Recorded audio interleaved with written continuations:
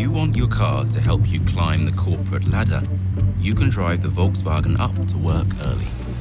And then work really hard.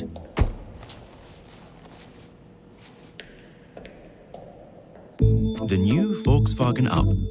The car that takes you places.